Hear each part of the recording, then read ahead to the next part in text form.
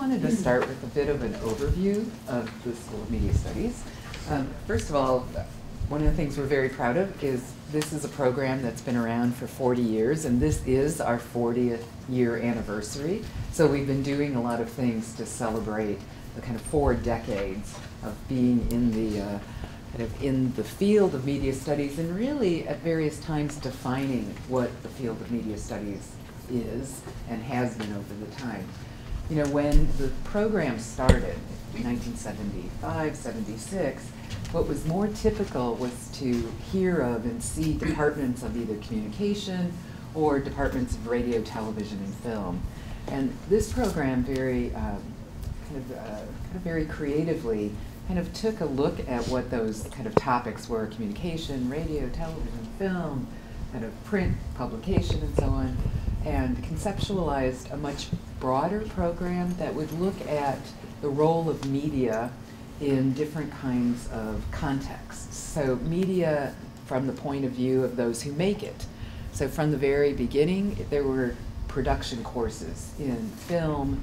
Um, as soon as video was able to be done by people with small video cameras and so on, consumer grade um, video, we were teaching courses in video production. From the very beginning, the program involved courses in sound production and audio production. And um, early on, there were also uh, courses in image analysis, photography, so. So there was, from the beginning, a kind of commitment that to understand media and its implications, its possible impacts, that you had to understand how media were made. What were the production practices and skills that you needed to create media pieces?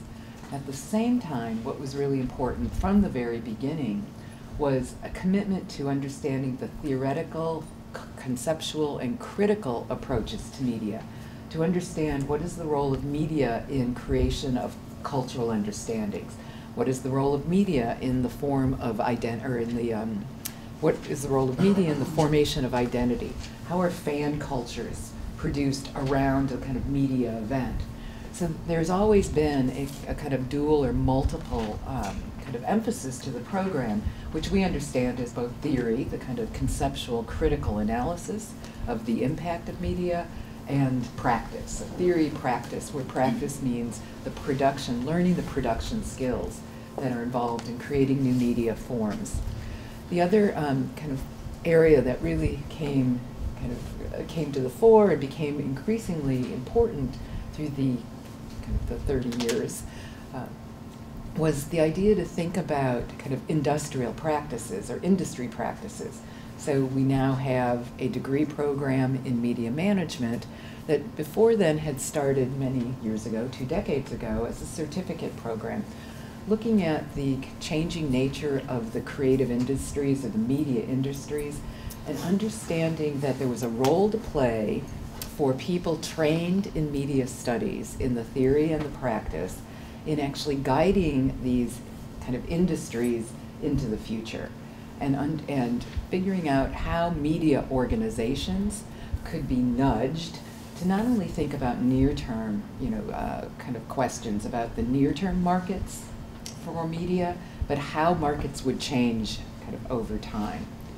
And one of the hallmarks of the program has been that it's really kept up with the different um, kind of the different media forms that have emerged. That, you know, when, you know, it was from film and celluloid film production to video production, when social media became more prevalent and people were moving into media, literally being mediated by the internet, by the web, by smart devices, by handheld devices, and so on, the program kept pace with that, integrating those kinds of um, technologies and media experiences into the curriculum. So the overview of the, of the program to kind of offer, the takeaway, is that this is a program that's been around for a long time, which means it's not a flash in the pan. Uh, we have some of the best faculty in the field of media studies who are themselves experienced media makers, are media scholars, as scholars do, write books, write publications, um, um, are kind of emerging as public intellectuals, commenting on this kind of changing state of media. Um, we have faculty who are very broadly um, recognized across the world. So one of the other commitments that we have, not only because of our faculty being so um, kind of internationally re renowned, is we have a commitment to what we call transnational media studies. So our faculty travel and they circulate. Their work is kind of well uh, well understood. But we are also very proud that at least 30% of our students come from places other than the United States, which gives us a very rich diversity um, in our student body. It is a, a kind of way in which we understand that there is no media phenomenon that operates only in one particular geo-national context. That in fact media themselves are kind of cross kind of cross, cross national, transnational, global phenomenon. They may take shape in different in different ways, or they may have a different texture in different contexts, different cultural contexts, different national contexts. But you have to understand very much the, um, the kind of the range and the methods and the uh, mechanisms whereby media circulate. So commitments are we have a world-class faculty. Um, we have commitments to kind of transnational understandings of media, the production of media, theoretical, kind of critical um, importance of media. And finally, and the last point that I'll make is that, and you'll, you'll hear this as we get into the details of what the programs involve, is our program is extremely flexible, which means that we can um, work with your interests. And in part, what we want to do is enable you to bring your biography and your portfolio, portfolio of experiences forward. So one of the things that's interesting is that none of you are a blank slate in any way, shape, or form. You all have a really rich kind of set of life experiences. Many of you have experiences in, in media making. And so what we would want to do is enable you to kind of make the bridge between where you are now and where you want to go. And partly our job is to help you map that pathway to figure out how it is that you bring the best of your experiences, your highlight experiences, how do you bring them forward to map a new career path, to enable yourself to be the kind of artist that you, that you aspire to be, um, to enable you to move into a different area or a new area of professional um, development. So by flexibility, um, we mean that we really focus on and try to help you understand where have you been, where do you want to go, and what's the path whereby you get from point A to point B, knowing as we know that point A and point B are also probably point A, point B, point Z, point D, point E, that you probably already traveled among many nodes and you'll have many career paths that are possible. And we'd like to help you map where you go from where you are now to where your next kind of your next horizons and your next aspirations. So that is a general overview. What we're going to do now is spend a little time um, kind of describing what some of the more uh, kind of uh, thematic areas of emphasis and expertise in the program, and then we'll talk about the um, the actual the nitty gritty, what the requirements are, and what kind of uh, opportunities are offered here at the new school. So, thanks again for being here, and we'll have a couple hours and time to talk afterwards. Okay, thank you very much, Anne. I'm Christiane Paul. I'm right now the Associate Dean of the School of Media Studies and as such responsible for the curriculum and I'm also uh, an Associate Professor in the department. What I'm going to do is basically give you a very brief overview, as Anne said, of the um, thematic areas of the um, program and of the um, degrees we are offering and you will um, basically hear from everybody who is responsible for those respective um, areas anyway. So what we are offering within the School of Media Studies, within the graduate programs, is first of all an MA in Media Studies, and I'm going to talk a little bit more about that an MS in media management, and uh, Paul Hardart, who is responsible for that program, will talk in a little bit about the details um, of that, and also about the media management certificate, which is um, basically a smaller program that you finish, but you can count um, the credits after that also for the MA and or MS. So you could um, continue with uh, an MS or an MA and apply those credits. And then we also have a documentary media studies certificate, which is very different from the other one. Uh, Diana Camille will talk to you about that uh, since she's the director um, of that area, and that is really a full time um, program for um, a specific time. So you'll get more detail on all of these in a little bit. And what I uh, briefly want to go over are the areas of study within our um, curriculum and what you can focus on. As Anne explained, we're very much grounded in a combination of theory and practice.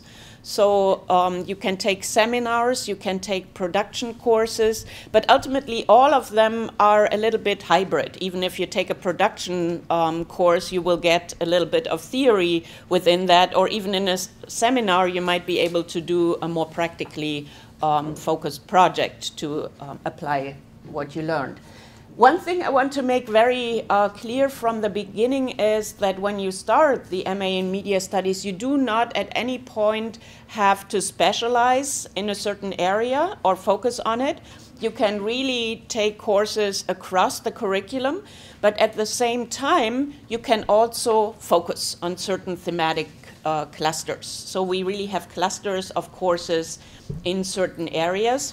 So you can apply yourself more to one of those areas, or you can basically ignore that and take classes across um, the board.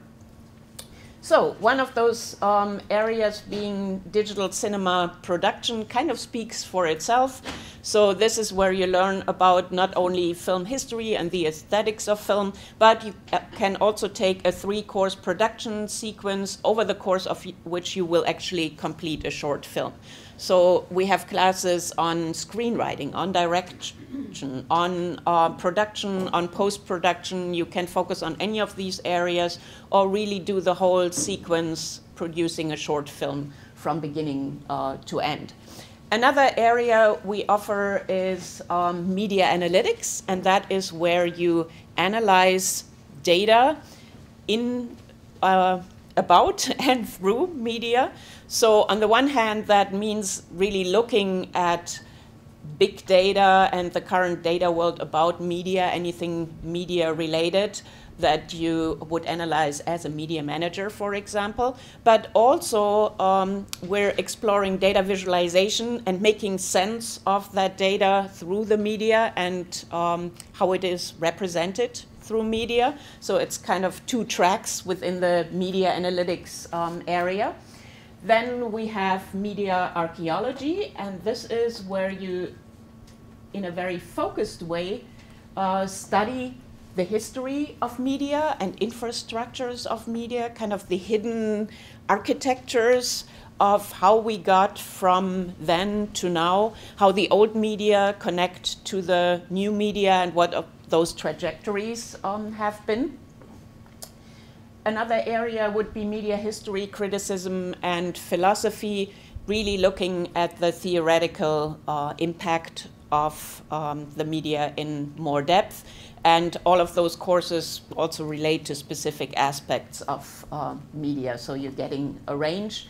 Yet another focus area is participatory media and learning, really focusing on how the media have changed, how we currently learn, as all of you know probably, through social media, through apps, through tablets, um, all of the processes through which we encounter media, read, learn, have radically changed. So that focus area explores that a little bit more. You may have heard about um, participatory action research. There's a lot more focus on participation in learning processes. So all of that is addressed within that focus area.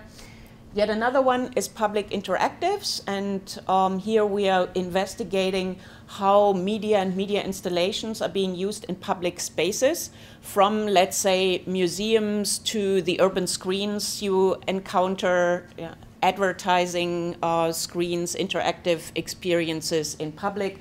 And uh, the School of Media Studies actually has a public interactive team that is developing uh, projects, and um, Anne has also been very involved in that.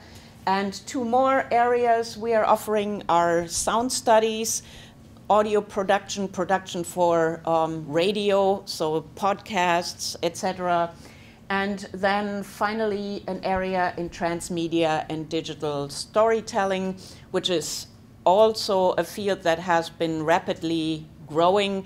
You all know probably how narratives are today created for multiple platforms. So you may have the feature film, but you have the app that goes with it, and the website or the game related to it. And in terms of digital storytelling, from uh, newspapers to all other kinds of media uh, venues, you find interactive features in the New York Times um, augmented reality that is used to augment print publications, etc. So the courses in that area uh, really give you an idea of what is possible in terms of experimental narratives, be they documentary or um, fictional. Um, again, focusing on that very much emerging and um, growing area.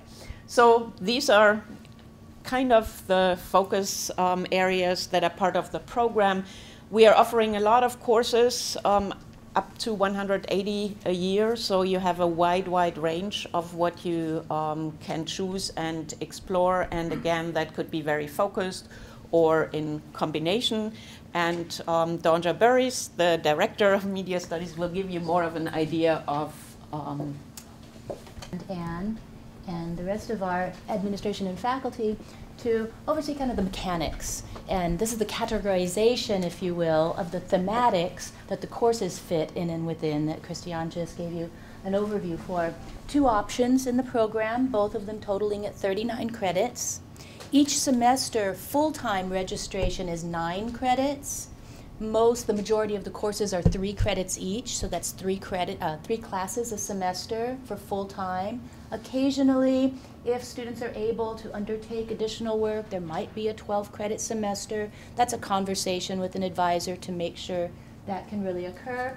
Very often, students don't go full time and go part time with six credits a semester, or even three, depending on what your life circumstances um, can allow and or sometimes dictate. Within each option, you see the first nine credits required of each, of each pathway being the understanding media studies and then media theory and media design. So these are welcome to the field, map the territory, dive in, dive out, look at the interconnections between theoretical, criticism, um, concepts, modes of design, actual contact with producing photography, digital film, audio, and some uh, coding and web work. That's in the media design course. In understanding media studies, and you'll see a litany of um, posters here on the wall with people's names on them. This is a, a, lecture series course every Monday night that in the Monday night session is a lecture series with invited guests like these individuals and others from among, among the faculty and or alumni of the program that share with the class what their work is, what their um, involvement and thinking is in the practice of media making, media critique, media design, etc the course then breaks out. Students work in working groups. So the first semester cohort really gets to know each other and witness by attending this, this lecture series um, the array of possibilities of, of work and theory and research in the, in, the, in the study of media studies, and then work in smaller groups to kind of uh, deconstruct that and be able to talk about it. Um, beyond that, in each option, there are three credits required in methods courses, media methods courses. These aren't all listed here, but they are on our site. And um, there are a variety of approaches to research in media studies. There may be very practical courses in documentary research methods, how to understand funding and archives and interviewing skills, for instance. There are participatory media research methods courses, or one at least, a design for research methods, understanding design for understanding what to research in order to design media, and there are practical overview courses too. Um, so there's a choice, whereas these first three are set up courses, the methods courses, there's a, there's a choice for students to select from. Then it opens up. And actually, this is not unopened because in and within all these required courses is a real plethora of direction one can take. You know, you'll be introduced in all those three courses just to the underpinnings and the foundational theories and such that have happened both theoretically and practically and historically in media making and media critique. Um, and you'll be able to kind of start to decide, well, where would I like to delve further? And how does that maybe map to one of those thematic areas, the areas of study that I've, I've heard about and I'm beginning to know more about?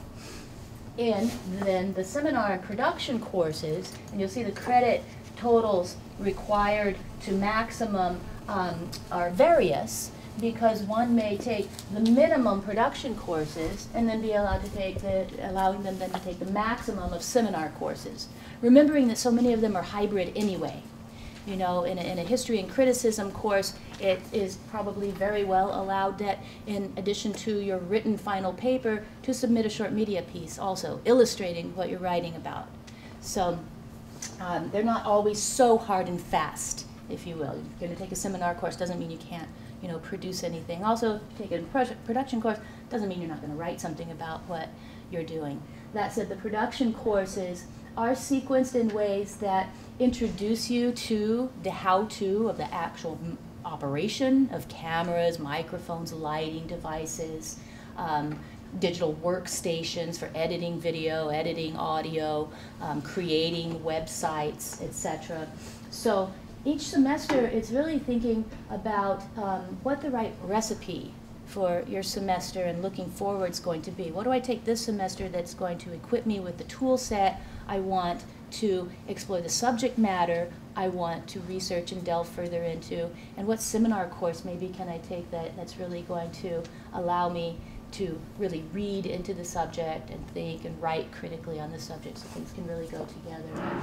Um, lastly, the difference, obviously, between something called a thesis option and a non-thesis option is that in the former you do a thesis. So this occurs typically over three semesters and, in a process of registering for a one credit sequence. Um, the thesis proposal, one semester, in addition to other coursework, the student will work with an advisor to develop beyond an abstract stage what they will undertake in order to produce a thesis over the next couple of semesters. What research it will require, research and resources, what scope of time, what probable sequencing of information the student has in mind to put together. This may be a written thesis, this may be a hybrid thesis, this may be a thesis that's created entirely in a media format with a supporting paper explaining the intentions and such. The next semester, the student proceeds from the proposal that was written to undertake this work that was proposed and start to um, write and or produce the first draft of the thesis and one more semester to essentially finish it up. Um, students who don't take the, th the thesis option do have the option, of course, everybody in both options, to assemble um, a nice portfolio of works that illustrate what you pursued, what you produced, what you wrote while in the program, while in your graduate program. And in lieu of undertaking the thesis, um, a lot of students will undertake something called an independent study or an independent production or supervised research registration one semester to do something probably short, smaller in scope than the full thesis, but yet something um, independently conceived and authored, you know, that is an idea one wants to work on more fully outside of the courses that they've taken. So that's kind of the mapping, the categorization of the program. And we'll have a chance to talk further. Um, oh, one thing I, I, wanted to mention, because we do intertwine courses between the MA program and the MS program, Media Studies and Media Management. Um, and Paul will, Paul Hardart will talk about this further, but within your seminar courses, many of these are media management type courses. They, they apply, they're required for and apply to the media uh, Master of Science degree, but they can also count towards your MA seminar credits. And in addition, many, many MA students elect to take the required four of those and write a capstone paper, a summary paper actually, and then obtain their Master of, Sci- uh, Master of Arts degree and the graduate certificate in media management. So there's, there's lots of flexibility, as Anne had said, and a lot of different ways to really build and tailor the program that, that suits you best. So I'll introduce then Paul Hardart, who oversees the Master of Science program. Don, you pointed out, if we just go back there, the, uh, these can, you know, just twelve of these credits you can apply to the certificate. So if you did want, it's, you know, think of almost like a minor in management if you wanted that. So if you're not sure of which program, sometimes doing the MA with a certificate in management is a good sort of broad, a way to approach it. Um, so you can do just a certificate, which is 12 credits, and you do a final project. You can take any of the media management classes. It's sort of a way to uh, maybe shore up some skills if you have a job and you want to just get started in that. Um, these are the required classes for the uh, media management degree. There's 36 credits. Uh, you start off on a survey class, which is called media management and leadership, sort of general management. Uh, media economics, which some people get afraid of, uh, which is fine, you shouldn't be and then uh, an ethics class, either media ethics or new media ethics. Um, and these are just two production classes. If you already have some production background, you can sort of just take any production class that you know you can waive out of it. Um, and then you take three credits that are in the media management curriculum. Again, anyone's. And the, the great thing about the media management program, just like in the MA, we have these great professors. And uh, in terms of management, as you all know, it's changing so quickly. So we have professors, if you're interested in social media, um, we have a class called The Business of Facebook, which is taught at Facebook's offices by a Facebook executive. If you're interested in digital marketing, we have an executive from Google teaching that. If you're interested in research, we have an executive from Nielsen, because things are changing so quickly that we have people that are really on the cutting edge of all these things. If you're interested in intellectual property, we have the general counsel from the New Yorker magazine. So we have really interesting people. Um, and as sort of technology changes and the concept of media changes, as both Anne and um, just talked about, we have a class in the spring that's sort of exploring wearable technology. Um, and um, also the, the management of, um, which will be really interesting class, is the management of political media and the political uh, specter or sphere. So uh, this spring, you know, obviously was a pretty interesting time in terms of polit- you know, managing political careers and how you use the media during that. Um, then you can take any, um, this is sort of inverted, you can actually take, so you take three uh, management electives and then you take three classes at anything you want, whether that's more management, whether that's in the media studies, or you can also take credits throughout anywhere in the university, right? Whether it's at Parsons. So that's the place for you to sort of explore the things you want to learn more about, you know, that you've sort of got your interest. And then you um, finish the program with a capstone project. So you start here, everybody takes this class, and then you end on a capstone project which can be, usually it's around something you're interested in. Uh, you can do a deep dive into if you're interested in social media marketing or film production or film marketing. And then also, or a lot of people will do a business plan. So you have an idea for a business you want to launch. And um, we have some amazing ideas that come out of that. And I think, Teresa, there's a little video I can show you. I'll just say it's a short video, if you'll indulge me, of uh, some of the students talking about their media. Uh, this is the time to do it, right? Yeah. Okay. So this is just, but there's, here's three people who have graduated who talk about their capstone project. It's brief. so. really think about where you want to be when you're done with this course and then think about the steps that you can take within the capstone program to get there um, like i've i've been hearing a lot like oh like you can't get to where you're going without knowing where you're going. So like if you just have like an end goal think about how to break that down into smaller tangible actionable steps and you will be able to get there. Once you have an idea that you're passionate about that you think can actually see through uh, i would say just you know, stick through it you know put the research in put the work work in and uh, you know eventually you're going to find something that you know you're actually interested in can be supportive of. In doing my capstone project and in uh, going through the various classes that i had throughout the program i found that you know just knowing what the innovator's dilemma is or you know knowing how to you know just being reminded what, of what a SWOT analysis is you know, I find that I actually use those things in my in my day-to-day job. You know, and, and doing the research for this project, I've been doing similar sorts sorts of research for different for different areas of my job currently. I was in a job interview and I they, they asked me, have you ever written advertising case studies? I was I was at an interview for an ad server company. And I said, yeah, actually I, I have. And I pulled out one of my case studies that I wrote for the innovation and digital marketing course that I took. and they looked at it and were immediately like, oh, that's a great campaign, amazing. And it was immediately something that I could use as a resource. I did learn a new skill, and I actually used the skill to transition my role at VH1 in digital production to a role on at MTV in a product manager role. I, I really got a lot out of it personally and professionally. The capstone can be difficult. It can be really frustrating if you're in the middle of it and you, you, you hit a roadblock and you don't know how to get past it. Our professors make themselves available to us, uh, it, and it actually really helped me. Remember to take advantage of the resources that you have here. I know they sound like kind of shills, but that was real. So, but again, it's, it, you know, and, and we have students that go on to work at. We've had people go on to work at Google, at VH1, at A and E, at um, um, and we have internships. There's also great internships. So I like the music too, right? So uh, we have students that have worked on uh, the Tonight Show, on uh, Martha Stewart. Uh, one woman's doing a thing on Oprah's online. So you know, the other great thing about being in New York City is there's all this great opportunity, and a lot of it comes through here. So that's just a quick overview of it. And uh, now we go to Deanna. oh, Deanna. Sorry, Deanna. Well, I'm, I'm a bit in the moment of what's, what's happened recently in Paris.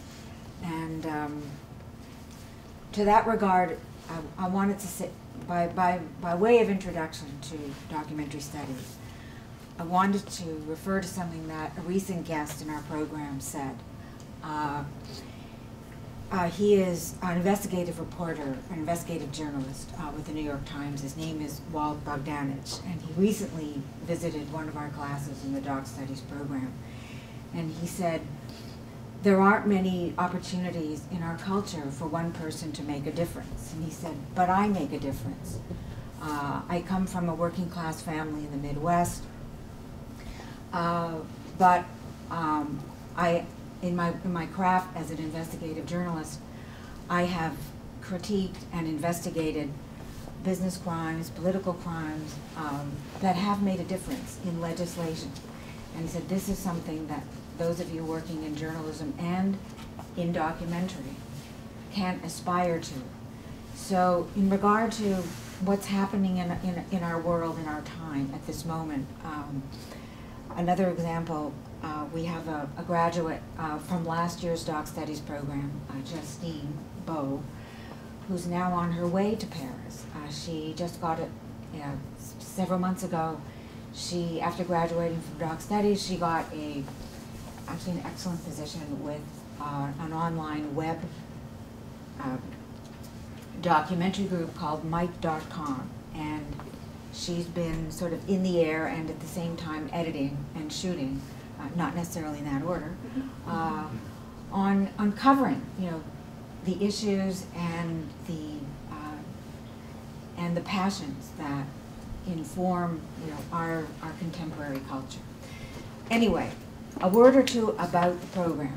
We are a year-long intensive, and in many senses of the word intensive, we are driven by our Truth Be Told Documentary Film Festival, which happens at the end of the year. At the end of May, we have a three-day public screening of all the films that are done by the students in our documentary studies program.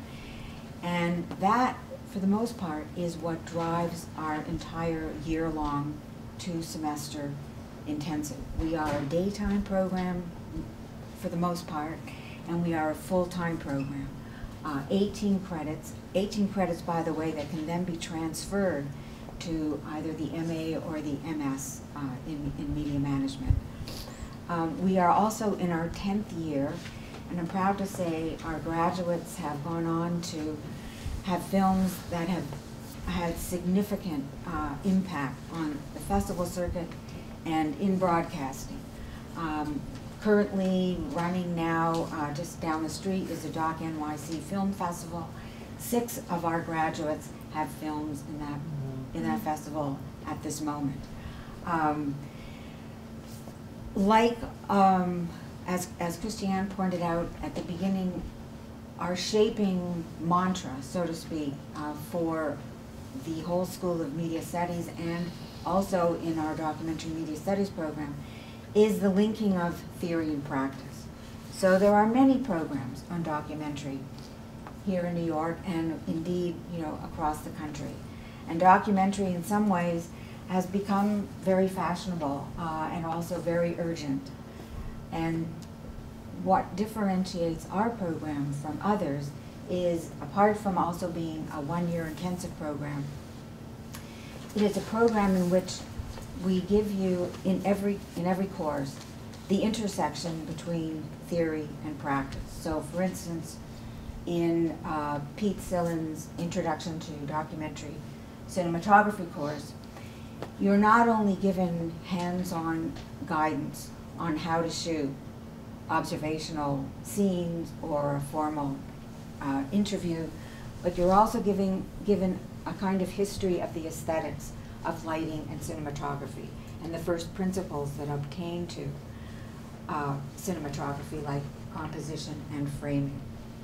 In Deirdre Boyle's uh, The History of the History and the Future of Documentary, you are given a kind of genealogy, a kind of history of documentary, beginning with the Lumiere brothers up to contemporary films. But at the same time, you are also given um, a background, a scholarly background in the theory of documentary and how to analytically read documentary through its, its unique film language. Um, one other thing I'd like to say about our program is we, our graduates do move on to significant work in the field. Often working, uh, we have graduates working at HBO, at Vice, at uh, several online web uh, documentary uh, distributors and uh, CBS, ABC, and again, as I've already mentioned, we have um, documentarians now here in New York and throughout the country, and indeed throughout Europe, uh, India, Pakistan, the Far East, who have taken what they have learned with us and, and influenced their own cultures. And um, so it would be wonderful if you are interested in the program. I'm happy to talk to you. If you would like to email me, and thank you very much. First of all, we have a lot of student assistantships. So that means um, you can be a course assistant, a technical assistant, or a research assistant. Um, we have course assistants available for all of our production courses. Um, so all the work that um, a course assistant does involves, um, you know, anything from updating um, the syllabus, a lot of uh, web presence, production courses. There's a lot of equipment sometimes that the students really need a lot of extra help with. so really kind of being that right-hand man uh, to the professor. Uh, if you're a research assistant, um, a lot of the work involved um, is with our full-time faculty. Um, so that involves um, researching or helping them research for various projects, um, whatever they may be working on, helping them with their own websites, um, helping them with a course that they're you know preparing for. so it can be a lot of different aspects of that. Uh, for our technical assistants, a lot of it is really hands-on equipment and camera use. Um, we have technical assistance for some of our bigger classes, which also have an online component to it. Um, so these technical assistants really help in kind of um, getting the videos up and edited and available to our online students. Um, and also there's um, a lot of internship and job opportunities also that we provide and that the university also helps with as well. Um, we have a career expo every year, so we have a lot of different um, employers that come and really love to talk to all of the new school students.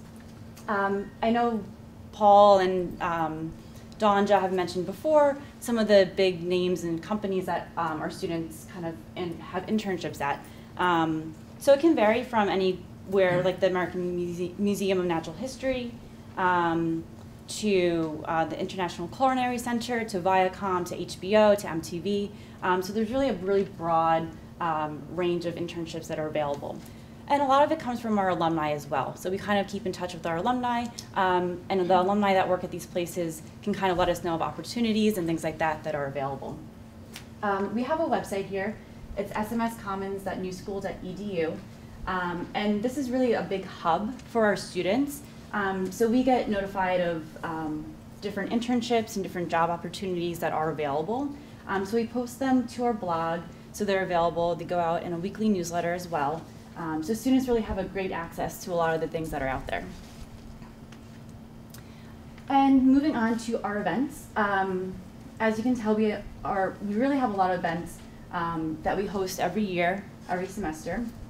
Um, and some of this is our, our artwork done by our graphic designer, Chad.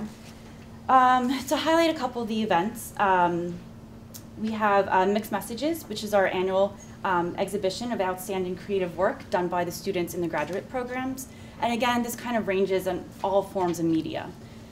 Um, we also have uh, Rough Cuts, um, which is like a monthly or so, um, three to four times a year. Um, it's an opportunity for students with works in progress to talk to other students about their work and to get feedback um, and to kind of, you know, really fine tune their, their projects. Um, and then at the end of the semester, there's fine cuts, um, which is where the works that these students have been working on are presented. Uh, something like Doc Talks is our biweekly series that Deanna curates very well um, for all of our documentary studies students. Um, so she brings in a great list of, of, documentarians who come in and show their work um, and really get to talk to students one-on-one. Um, and then this year, um, we celebrated our 40th anniversary, 40 years, um, at the New School. So this past semester, we had a range of events kind of looking back at the history of the New School for the past 40 years. So we just had an event on Friday featuring alumni screenings. we had a big kind of opening event um, in September. And then we also had uh, alumni come back um, to have a panel discussion with our current students. Um, and then moving forward in the next semester, we have a lot of events um, coming up, kind of looking at the future um, of media studies. And you guys are all welcome to attend, so we'll make sure to kind of, you know, make you aware of any of those opportunities if you want to come and check out the program a little bit more. And that's about it. I'm Preet, a graduate of the Media Studies MA program. And I now work here and I run Red Dog Productions, which is what I'm here to tell you all about, continuing on the theme of um, student employment. Dean Anne Balsamo and Dale McDonald are the executive producers, and Rosalie McManus is the magic behind the scenes. She manages and supplies all the amazing equipment that we get to check out for our different shoots. And um, the company was started under the umbrella of uh, media studies, but we serve the entire university. We cover some of the events that Tracy mentioned and um, other events at the university. Yeah, basically students come to us and they get to test drive a career. You get to figure out what it's like to be in the hot seat as an editor or a filmmaker or a producer. And you'll meet great people as well, add original and creative content to your digital portfolio, and make your mark here at the New School as well. Um, you watched some examples of our work earlier, and you'll see some more later on in this session. Our students come from varying backgrounds. We've had um, journalists come through, we've had writers, um, animation experts and professional filmmakers. And they all come through Red Dog, exchange knowledge, contribute, and form lasting friendships. They join hoping to broaden their skill set and graduate um, with a hands-on experience in production and post-production. And they also get to take, get to take a killer reel back with them. Last year I hired a student who was um, from Pakistan. She was a journalist. She'd never worked with audio before. She'd never run live stream and we gave her some training. And by the end of her first semester, she was assisting with an audio workshop, and she was my go-to crew member for live stream events. So we're pretty proud of that. Live stream is something we've introduced recently. Red Dog is a good place for media studies students to discover their calling. If you're not quite sure where your passion lies within the realm of media, which is very vast, we can help you figure that out and hone in on it.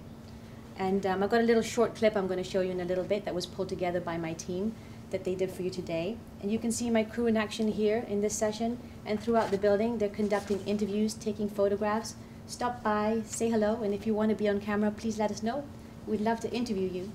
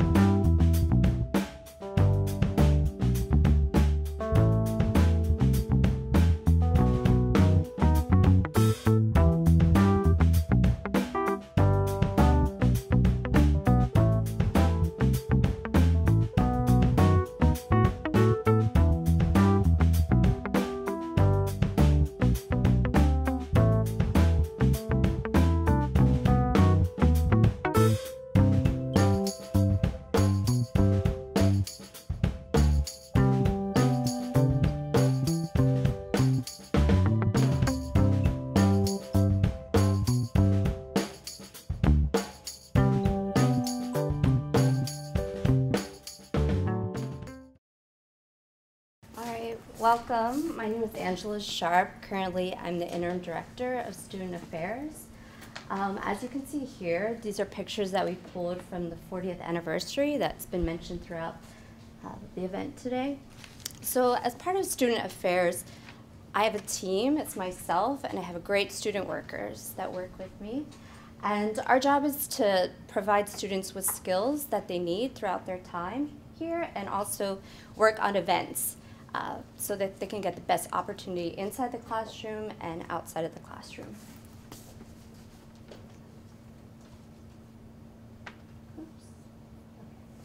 So when you come, before you even start your school, you have orientation, and it's a three-day event. And each day we have it's catered so you, you know each day you come you get new information and then as it comes to the third day the last day we have something called the student fishbowl so this is great because by the end of the third day you've already met some of your students you've met faculty you've met staff and we also invite current students to the fishbowl and last year actually we had alumni too in this event and so you might wonder, like, what is a fishbowl? That sounds a little strange. Uh, so basically, when you come, we ask you, what questions do you have about the program?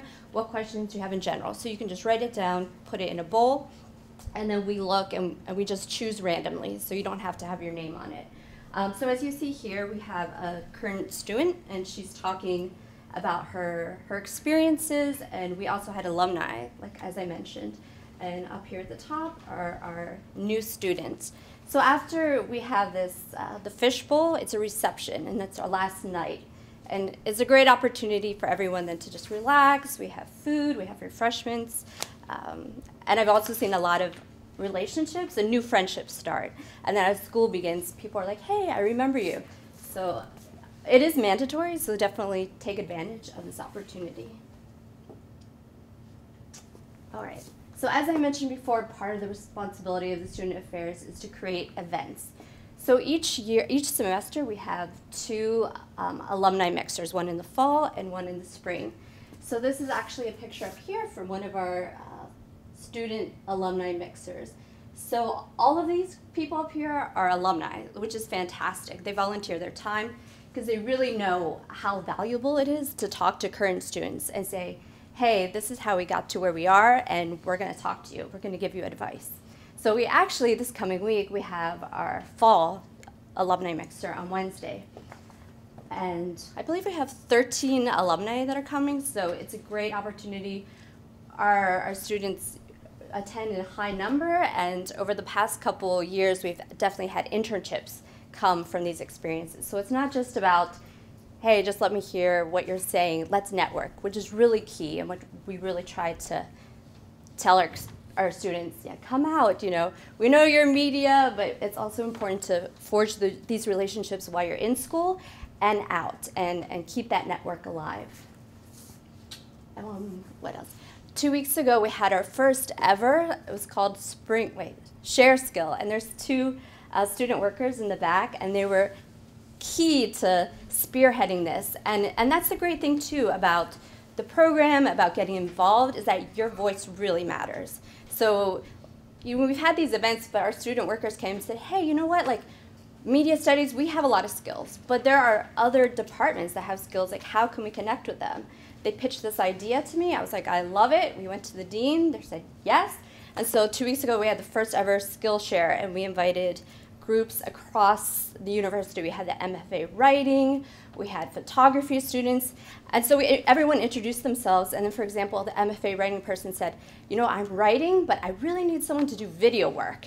And then we had one of our media management students that said, You know, I'm doing my capstone project, writing my you know, plan, but I need someone to do web design. I need this and this. And so we had this, these introductions, and after that we let them go, and everyone just like mixed and mingled. And it was beautiful seeing these relationships start or like, hey, how can we work together? How can we come out of this school experience with like perhaps a great reel or even something that I'm working on currently? And actually someone from the photography department, she said, I'm a part of this group and I don't remember the exact details, but it was something they're working with prisoners to fulfill, like for example, if a prisoner says, you know, I really want to see a picture of this place in this country, um, how, you know, I need, I would love to see that. And so the, this woman that came that represented photography, she said, I would love to have photographers. We need more photographers to, to help with these locations and shooting. And So some of our students were like, yeah, that sounds amazing. And they talked with her afterwards.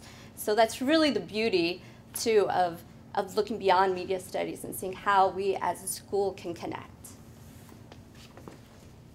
Oh, and I wanted to mention one more thing. So the two ladies in the back, too, who you'll meet later, um, they're chairs of what we call the Student Advisory Council, which is called SAC.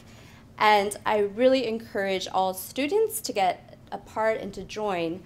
Uh, you know, with any institution, that there are great things in, in place, but you as students are on the ground. So this is a, a fantastic platform, SAC, to, to get involved and for your voice to be heard. And it's not just some group, hey, we meet every couple weeks and la la la. No, the uh, dean and the associate dean pay attention.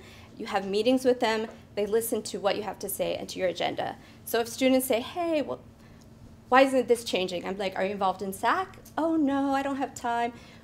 There, there's a lot of flexibility, so please, like, use your voice, participate. Oops. And so the, as I'm going through, I'm just showing different pictures of events, uh, the alumni panel. And so to conclude, I just want to mention to you your different options, advising options. So currently, as I mentioned, I'm the interim director of student affairs. Students can always come and make appointments with me to talk about uh, their credits. As you mentioned earlier, everyone was explaining how many credits you need to graduate. So students come to me a lot and say, hey, you know, am I on track to graduate? I was like, let's look. Let's look at your, your, your credits. Or they might have questions about classes or even things like, hey, you know, this came up. How, how can I get assistance? And I'll definitely direct them to um, other sources within the new school because we have fantastic resources. We know that graduate school is another level from undergrad. We realize that people are working full time, they have families, and life happens. So if, if you have issues, we're not just here as an institution, we also want to, to be there for you, to support you. So please always feel free to come and talk with us.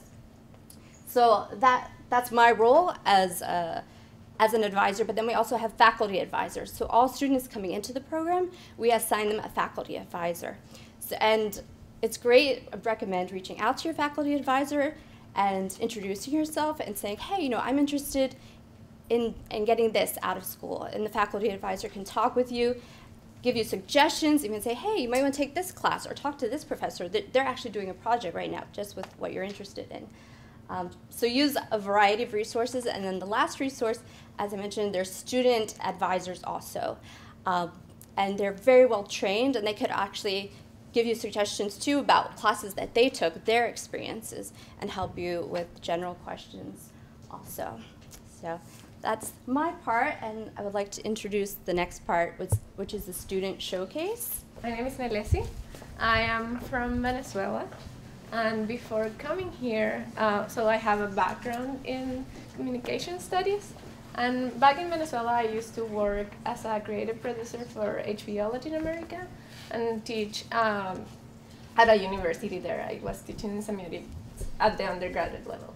So when I came here, I was looking for this program to give me the opportunities to make the whole jump to the academic life but also like um, like like help me find a way of integrating my creative producer background and that's more or less what i'm going to talk about.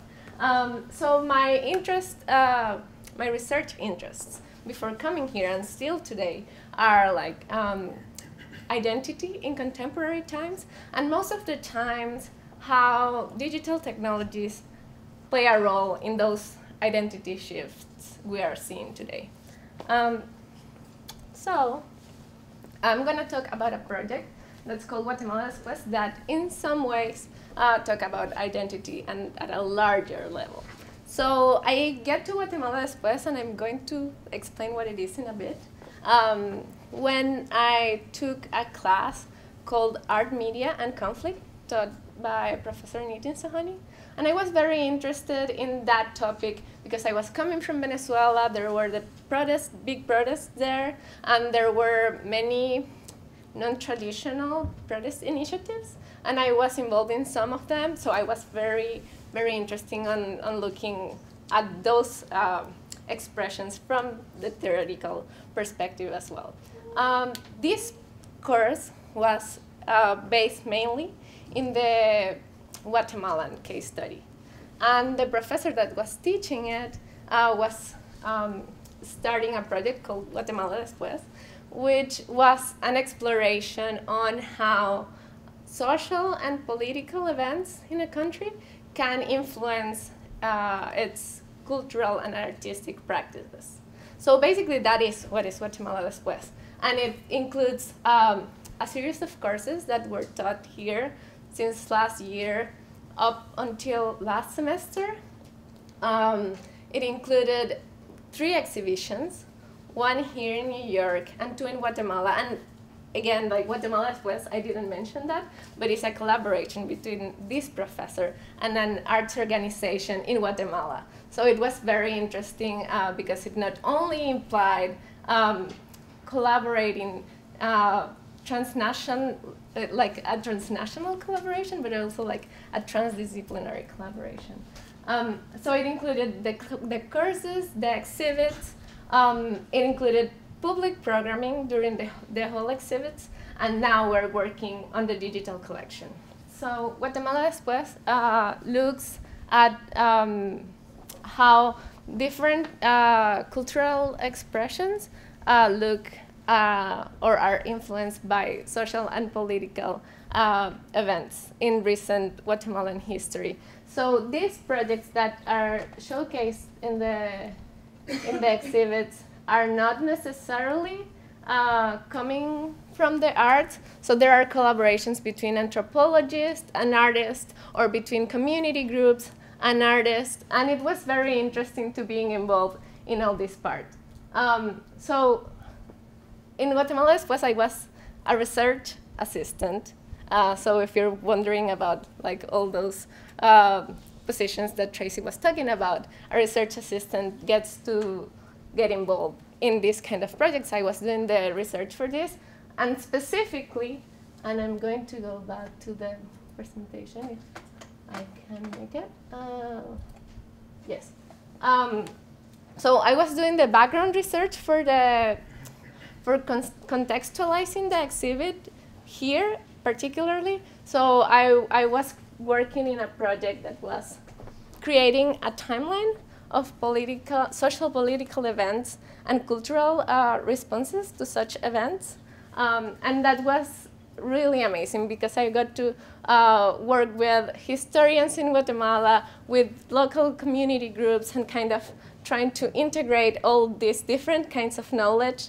And also, after gathering all this, uh, deciding on how to create a narrative that was approachable by the US uh, audience of the exhibit. And so in, what, in, in New York, the timeline served as a framework for the exhibit, maybe like kind of give some basic ideas to the people that was coming to the exhibition, uh, like basic knowledge to approach the artwork. But then in Guatemala, and this is a parenthesis, I got to go to Guatemala for a month. Uh, yeah, for a month, and this turned into a participatory uh, installation in which people were able to contribute with bits of their history, their personal histories, with their hopes for the future, or with, with suggesting additions. Um, and then, so I, I also got to go to some conferences. Um, so this is like, this has been really a, an amazing project for me to kind of mix my creative producer background with my interest in the, like developing a career in the academic world. Um, yeah, thank you. Um, I am representing the uh, Public Interactives research team, um, one of the research uh, assistants there. Um, I just kind of want to start um, briefly by talking a little bit about my background and what brought me to um, PERT um, and to kind of demonstrate the flexibility and the dynamism of the program itself. So when I started, um, I was totally convinced that I was going to come for two years and study sound studies and augment my experience as an artist. It was totally artistic. And uh, I had had some experience in the uh, TV business before that.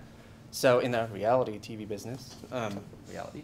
So um, I came here really convinced that I was just going to be an artist, study art as it relates to media. Um, but as I went through the program, um, kind of the first year, a little bit, just kind of taking something from here, something from there, um, I had the good fortune to take uh, a class in public interactives um, where I was introduced to this emergent communications forum. Um, and I was fortunate enough to meet, uh, to meet Dean Balsamo and uh, kind of fall into this thing called the Public Interactives Research Team. So I'm just as surprised as anybody to be standing here describing uh, my work because when I came here, I had no idea. No idea that this existed, no idea that New York City is this amazing, dynamic, living lab to be able to explore this communications thing called public interactives, which are basically, in a nutshell, the Twitter version is um, publicly situated media um, that allows for communal experiences, mediated communal experiences. Um, and they have a lot to do with scale um, and immersion. Um, but uh, here, let me show you some examples. Of me blah blah blahing. Um, so this is PIRT's website. Um, and the Public Interactives research team is uh, made up of uh, faculty members from within School of Media Studies. Also, uh, we have a faculty member from Sarah Lawrence College. Um, and there are students from School of Media Studies, um, from both parts, from media management, also from the MA program. Um, there are some Parsons students sprinkled in there too. So what we do in PIRT is um, we explore um, this communications art form or this emergent communications form. And we do that through discussion. We do that through going into the city and exploring stuff, um, such as just a couple of days ago, uh, a research assistant and I, we went to Macy's on 34th Street and we looked at this thing called, uh, we looked at this, I don't know, installation or new place that was built in there called One Below. And there happened to be a very large touchscreen in there um, that is kind of demonstrative of this thing that we're looking at. So we went, we walked through it, kind of tried to understand what it is this thing was doing, take pictures, document. Um, and it turned out this thing um, was fashioned to be a type of kind of social media interface, but without getting into like the, without over analyzing it for the purposes of here. I mean, if you want to talk more about it, come up to me and we can talk more about it. Um, it was awkward. It was a little bit kind of like it was designed for one thing, not really doing what it was designed to do. But it was, there's things like this situated all over the city. Um, so that is one thing that Public Interactives, the team, tries to do is try to kind of explore where these objects are, um, understand what it is they're doing, and kind of think about what the future is. Because um, I think that uh, a thread through a lot of presentations and also the introductions is that media is very dynamic and that it's changing, and that the role of media is changing, and the functionality of media is changing. So I think um, public interactives is kind of surfing the wave of that change. So um, feel free to come up to me and uh, chat more about it, but uh, um, thank you. Moving on. I'm Pamela French. Um, I'm a grad student, media studies. I came back to school very, very later in life. As you can tell, I'm a little older than all of you, um, but it's never too late. And I came back um, sort of after 25 years of being a professional in the business, and sort of I'd sort of hit a wall, and it was time for me to sort of I needed something new, or maybe thought about teaching in my future, or I didn't know what, but I sort of wanted to change, and I thought it would be wonderful to come and be with creative, uh, like minded people and see what's going on in the world. Things have changed since when I went to school. And I sort of um, had a passion to make documentaries, and I've sort of never finished projects I found, so I've sort of used my time here. I've been sort of doing uh, doing it the long way. I take only two two classes per semester, so I'm still here for a little while. And um, I used this place to sort of incubate a film that I was working on called Becoming More Visible. I did a Kickstarter here solo, um, raised $30,000, which was wonderful. Um, I've been working on this for the last two years, and I finally finished a rough cut uh, two weeks ago, and I'm now submitting it to festivals. So I'll show you the trailer. Um, but it's been every class I've taken, whether it's been um, media management classes, uh, documentary classes, social media classes, I've used this project and had students work with me to start campaigns for it, to uh, figure out marketing strategies, and it's been incredible. So I've sort of built myself, I've used this project, and I've had amazing professors who have helped me along the way to now I'm doing an independent uh, class right now with one of my film professors, and he's really helped me shape the narrative of this film. So I'll show you the intro. I don't know a woman. I'm a woman. I want to call a transgender woman. I was born a woman, but I was born with a genetic disorder that makes me look more masculine than most women. So like my voice is kind of deep, I'm kind of tall, my hands are big.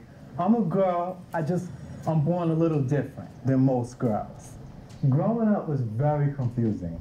I knew what it meant to be gay, I knew what it meant to be straight, I knew what bisexuality was. I had no idea what transgender was or transsexual. I didn't fit in any category. I didn't feel gay, I didn't feel straight, I didn't feel bisexual. I felt like a woman who was attracted to men. So like, how do you explain that at eight, nine years old? At first, I was so confident, like if I get surgery, I was mad happy. But I didn't know subconsciously, I really, I really was scared as hell. Like I had an anxiety attack in the house. Like the ambulance had to come and pick me up and everything, because you know, it, I was scared. Like deep down inside, I was scared because she was making me um, sign like you know papers, basically. You know, ah!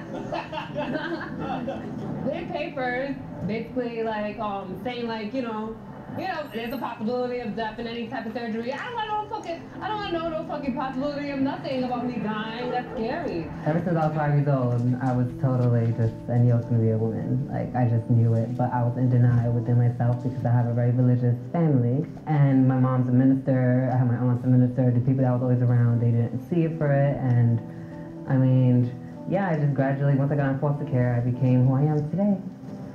So you guys all know that I'm going through like my hormone therapy and everything and being on testosterone, which makes you crazy.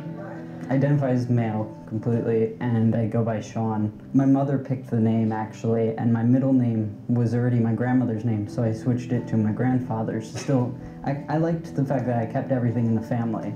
Growing up and looking the way I did, I always got called a boy, and it never bothered me. My mother would always correct people, but uh, you know, it wasn't something that was always uh, an issue to me mentally. I mean, my, my mom's been great about it. Uh, it's it's yeah, it's difficult at some points. I mean, she's learning a little too much about what comes part of being trans. My family pretty much don't talk to me at all anymore because I've always wanted to do what a girl wanted, and my dad wanted like a perfect son. So we were never close, and now it's pretty much we just exist in the same area together. More like just ghosts living with ghosts.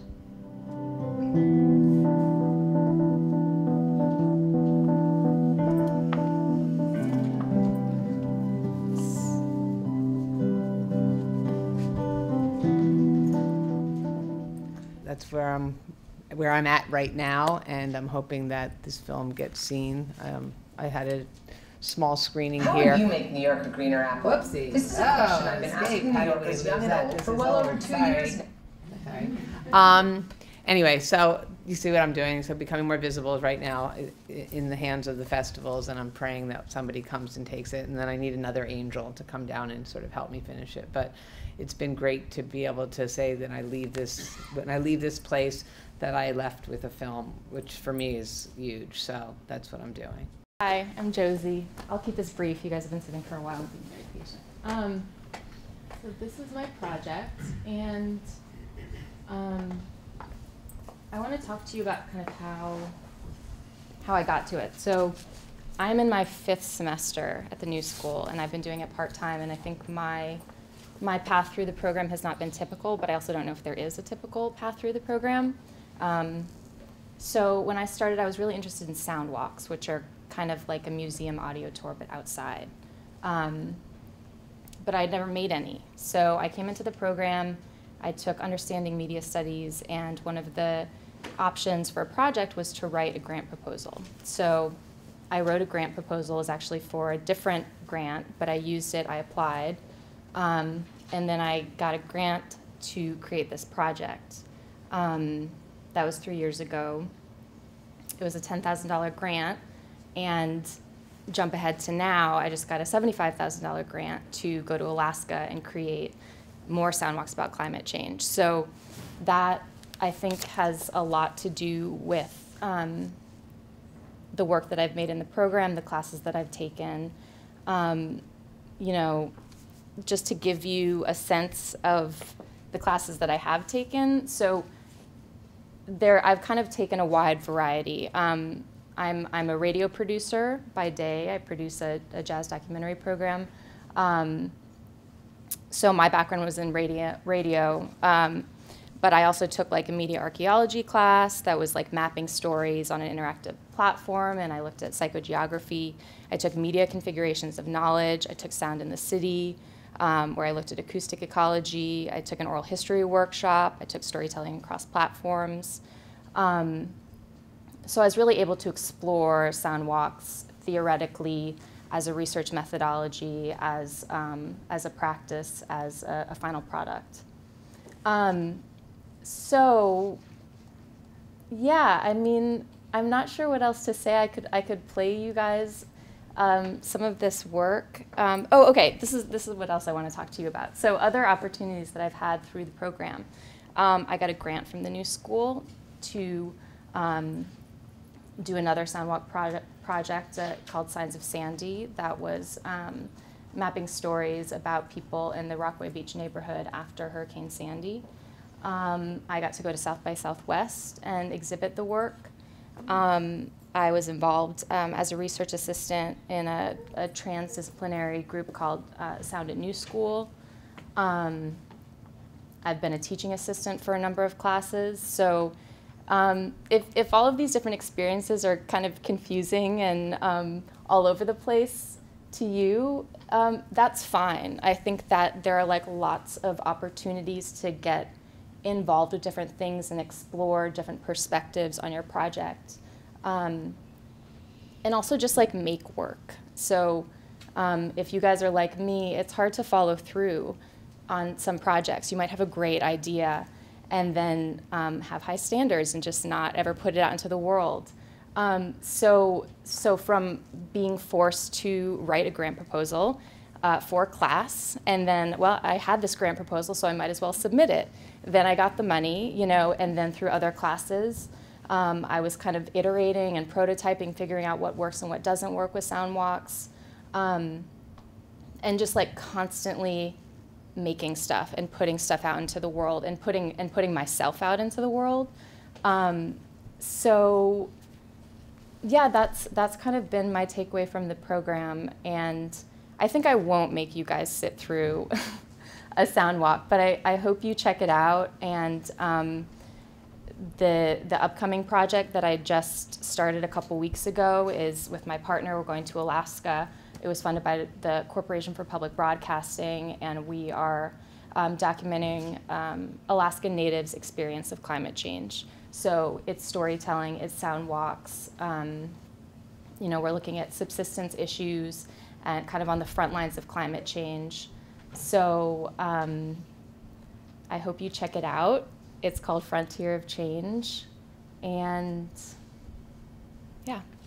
We wanted to give you a chance to ask some questions, uh, not only of, of their individual projects, if you're interested, but also their experiences in the program. And so are there questions? Yes. For David? Yeah. Um, so is PRIT basically like you kind of going out into the world and finding these sort of interesting things about like social media or like media things and kind of writing about it on like blogs, as you say, mm-hmm. when you were explaining it in like a Twitter mm-hmm. kind of way? Because when you showed the when you brought up the website, I'm kind of just really curious about that. Okay. Um, so basically, how I would describe the Public Interactives research team is Or maybe I should, or actually, let me ask it this way. Sure. Like, what, what class did you take that kind of made you say like, all right, this is what I want to take instead Oh, of being good like a creative artist? yeah, yeah, okay. Um, I definitely think that there was there was a, uh, a class called Public Interactives that was offered by Professor Dale McDonald that kind of uh, opened my eyes to this media form, and so the team. Um, explores this in a bunch of different ways. We do go out into the world and kind of try to understand what's going on there. But uh, we also, um, this past summer, uh, we presented one of the uh, uh, concurrent research projects within the team called the AIDS Quilt Touch Digital Experience. And so what that is, is uh, it's a suite of technology that um, helps to enhance the experience of the AIDS Memorial Quilt. So, and we were given the opportunity to, to present that at SIGGRAPH in Los Angeles. So, um, the team develops projects, also is out in the world trying to understand the implications of this publicly situated communal experience, mediated experience. So we do do some writing, we do do some uh, project development, um, we do a lot of talking. We have guests who are um, who are authors in the field to help us kind of try to wrestle with this thing, to understand it, to describe it, to witness it. So we're doing a lot of a lot of different things. Like changing. Yeah, I mean, because, I mean, uh, I think that with this type of communications form um, and the emergence of it as producers, because I also make media too. Yeah. Um, I want to understand how to make media for it. Right. Right? So um, the team is kind of multifaceted, Mm-hmm. trying to understand implications, trying to understand how to do it, try to understand where it is, try to understand how to describe it. Yeah. So um, that's a really long answer. No, no, I understand. Yeah, no, I get it. And Yeah. the Twitter version is like, because actually one thing within the team is like, okay, how do we describe this quickly? Yeah, to somebody who has no, maybe no idea of what it is. Yeah, no, I- okay, right? got it. You- you- So hope that hope that gets to. You got it. Okay, cool. Totally answered my question. Cool. Nice. Other questions? Yes. Um, first, I want to say to the students, thank you so much for sharing your work and taking the time to present it. It was awesome. Um, but my question is really for the um, administrators, really, and it's like, what are the retention rates, the graduation rates, and the employment rates? Those are really good questions.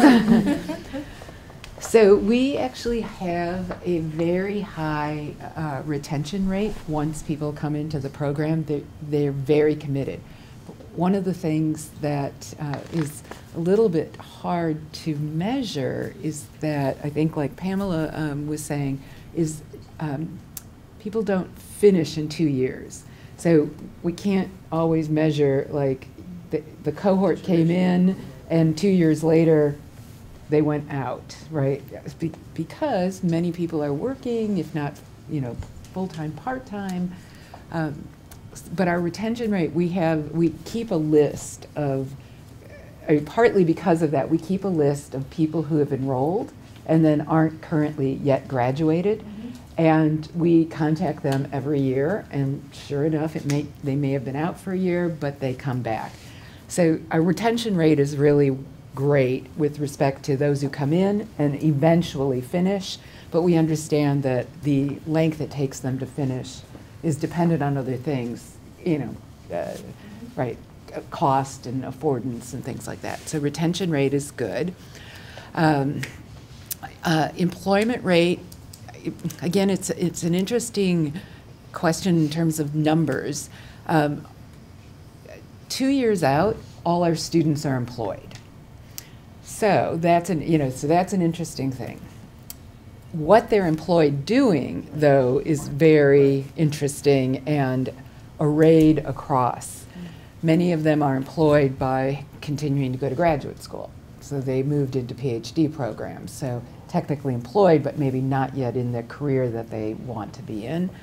Um, many students, um, you know, and these are the ones I, I track more personally because they're people I've worked with, you know, are doing things very different. They're freelancers, so they're keeping their, you know, lights on and their bills paid and so on, and they're doing it through what is becoming more you know, more typical for a lot of people, which is they're doing it through freelance uh, gigs and work.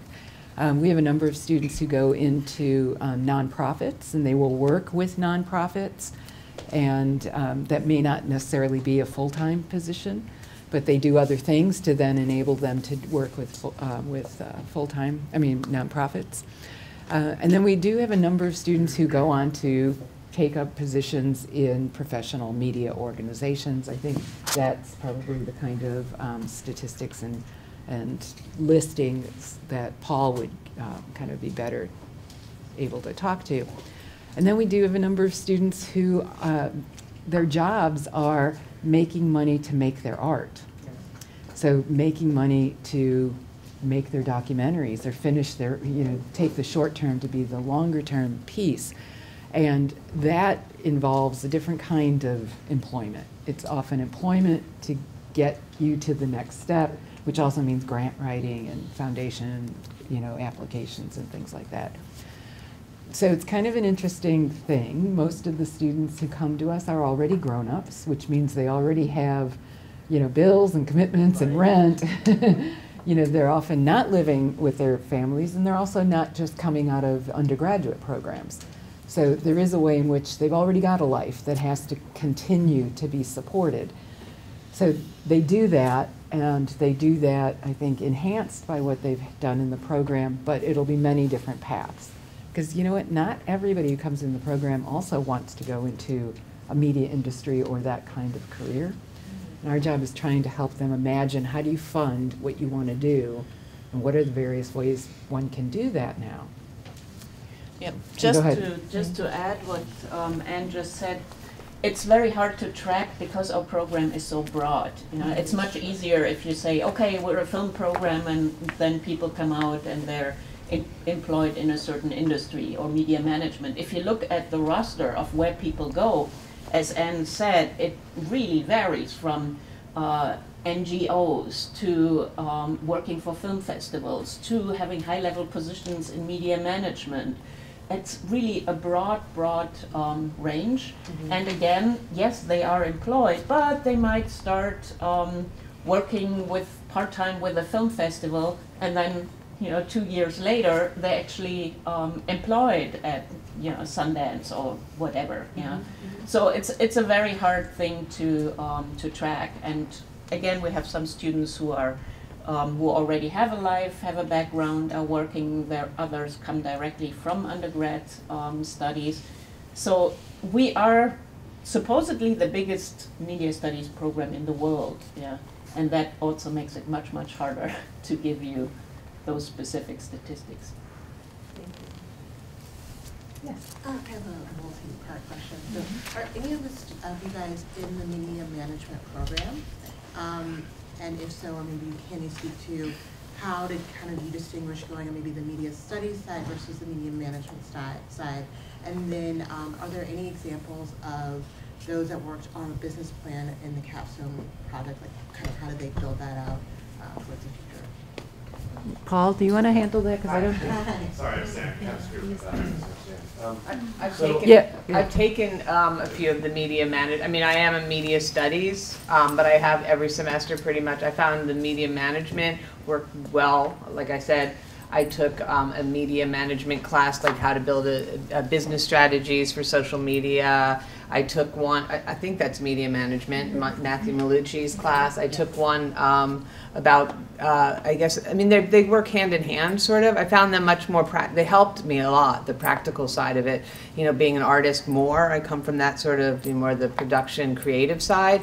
It was very helpful for me. I worked with other students, like we would work in teams, and luckily my project got elected to be the project we worked on and I was able to sort of take a real life project and and build something you know It- you know and it was also interesting. It was like working with your your classmates but in the same breath you know, they, they, they didn't work for me, but yet we were working to, for my project. It, it was hard, it was little egos happening there, but it was definitely useful for me that later now, while I'm doing the festivals, I had my top tier festivals in line. I knew what I was gonna do. I have an outreach plan for later down the line. I have all that stuff down the line. I have a thing called Who's Your Selfie. I started a social media campaign, you know, where I wanted people to be able to tell who their real self was. I have, I'd like to have a team now build it out more. I mean, once the class was over, it was like, see ya, you know, and I'm stuck with this site that needs help with. But yes, it, it allowed you to create projects that, you know, you had a team that was working for you, but not, you know, you didn't have to pay them in a sense. So it was helpful. It was really helpful.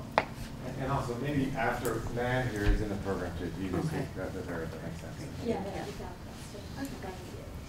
Yeah.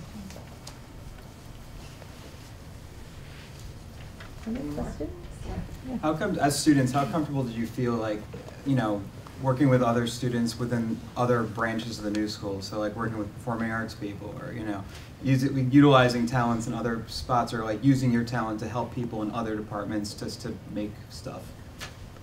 Um, yeah, I can and I can speak about that. Uh, so, um, in several projects, like I, uh, but particularly in Guatemala Después, we have had students from Parsons Design and Technology, and um, we have had the opportunity of like kind of get the ba- the technical background they have and integrate it with the ones the, the theoretical background that I particularly have.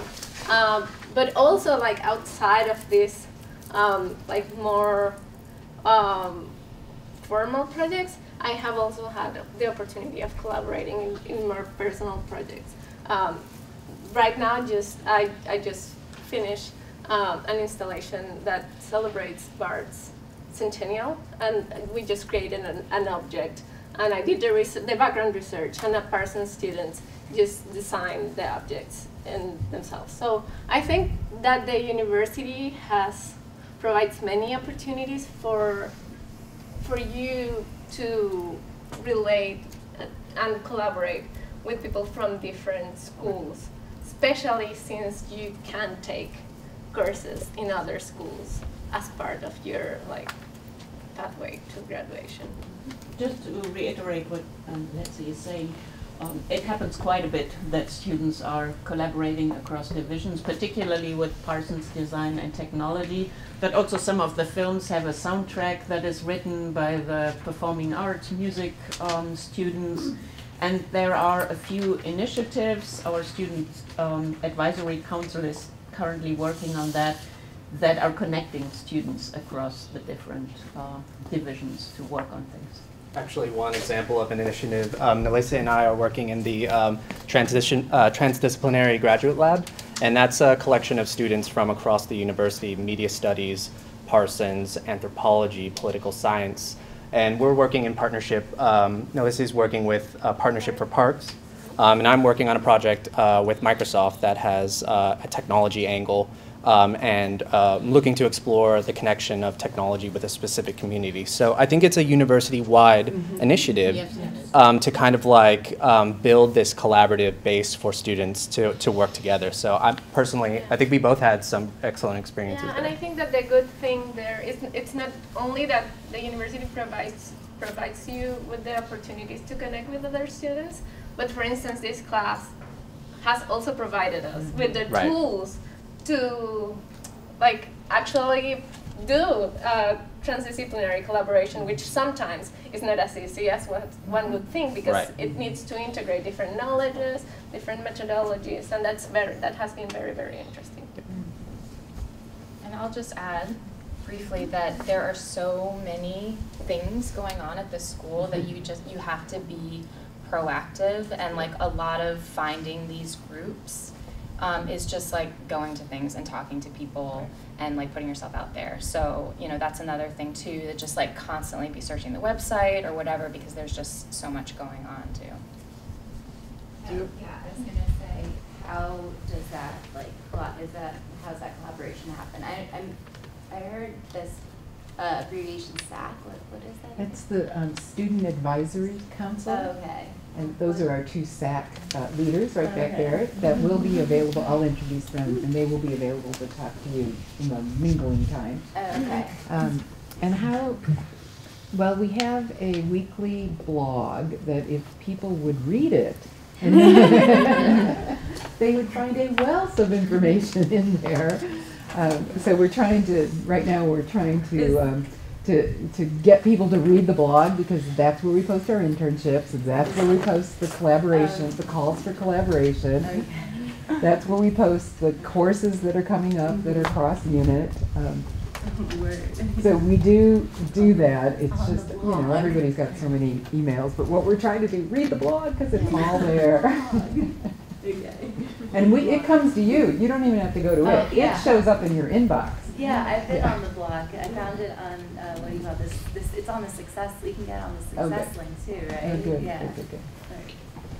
Yes. Building off your previous question, uh, as we navigate the differences between the MA and MS programs, Mhm. uh, Paul, you mentioned that there's an opportunity to perhaps look at the certificate option within to augment that with your MA. Right. Could you speak to either the frequency that that happens or? Very frequently. Okay. So, uh, you know, the way I like to think of it and- and is that if you think of the program as a continuum, so if you're really more interested in theory and practice, I would suggest you do the MA, you know, and you sort of do the, the mixture of theory and practice you want.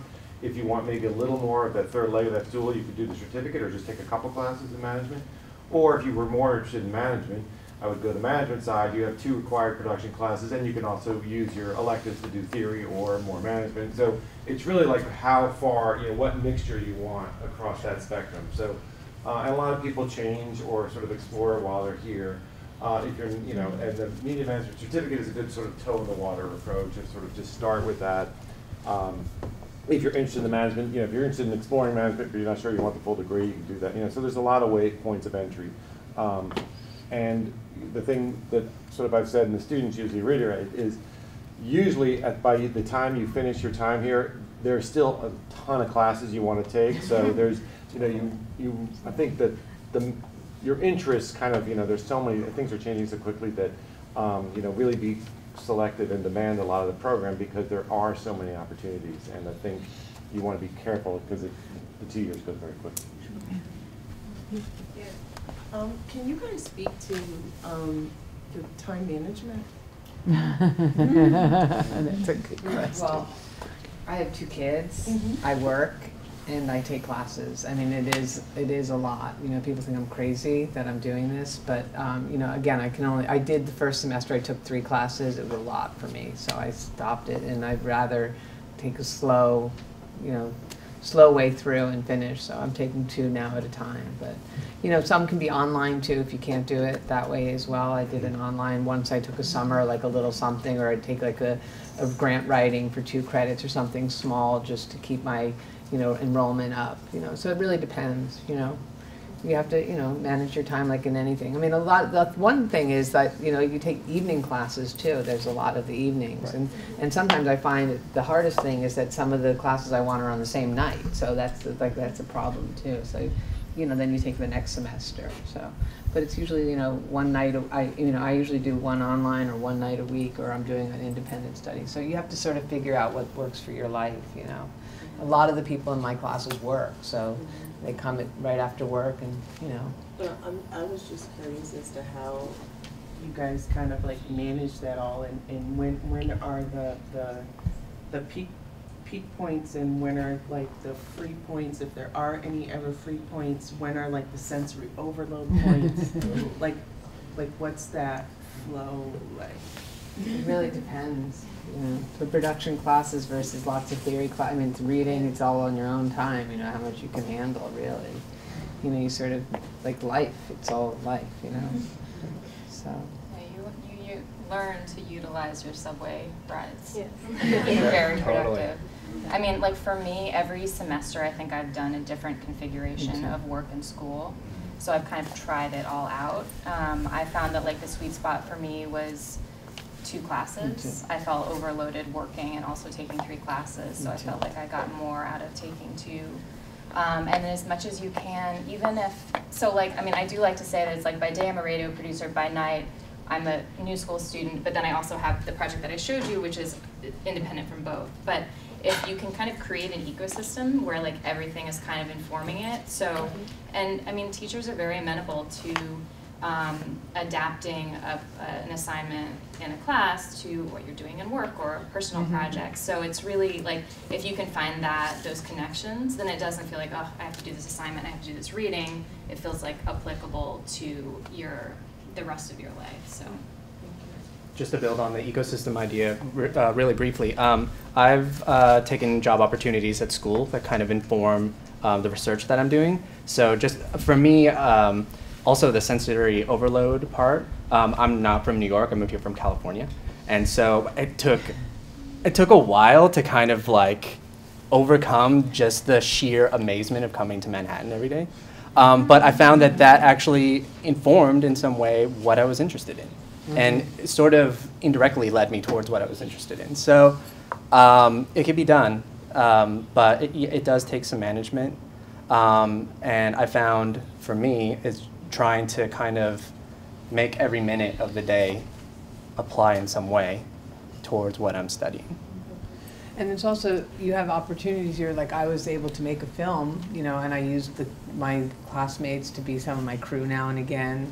You have the, you know, the equipment here, you know, some of it I use, some I have my own, but it was like also, so, you know, my production classes, like if I was doing a webisode class, maybe I would do a scene from my film as part of the class. So I was doing my personal work, which was my life, with my schoolwork. So in a way, you're getting credits or you're using that, you know, instead of just saying, oh, okay, I'm going to take a class and write a paper on something or I'm going to do a grant on something, like we hear it over here. It's like you're basically furthering your creative and your work life with your professional, your professional life with your school life. So you're getting credits to pursue your dreams, which is what I think is what that worked for me. And I, I I would just add very briefly, so doing this thing that some of us have mentioned, like just building the ecosystem, requires like um, a lot of clarity and planning. So I would advise you to use your advisors to have several talks once you get started and then each semester just to help you choose classes in a way that you can all integrate them and make sense of them as a whole. Thank you. So we're, uh, we're out of time in the sense that we're supposed to uh, let you have time to mingle. Uh, The students will be around to answer questions or talk to you, with you one-on-one. Also, we have our um, SAC, our SAC representatives. So Francis, Frankie Underhill is a third semester media studies student. She focuses on documentary filmmaking. And then Lauren Gray is also pursuing her MA in Media Studies and the certificate in Media Management, so she would be a good person to talk to. Uh, she is our, um, one of our student engagement fellows, as is Menling Wu. So Menling is, is finishing um, her program in the Media Management degree, and she too is one of our uh, student engagement fellows who's kind of responsible for generating ideas and things for people to do to do networking and kind of share creative work. Um, so they will all be around, as will these people, um, to answer questions and talk and get get a sense of your interest. So thank you again for uh, sitting through this, and um, I hope you found something uh, interesting that will pull you in to make the application. And we are all available online and uh, through email if you have further questions. So, thanks.